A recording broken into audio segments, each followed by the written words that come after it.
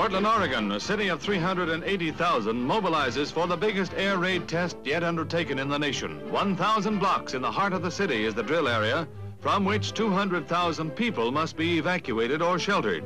All movements are coordinated through switchboards of the Air Filter Center.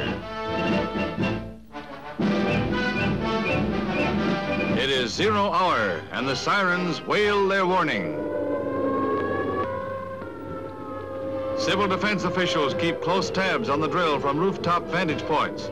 As the alert sounds, traffic gradually comes to a halt.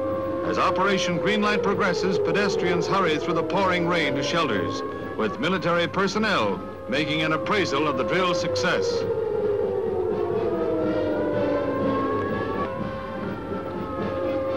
Thirty minutes after the alert, Portland is a deserted city in a grimly realistic exercise.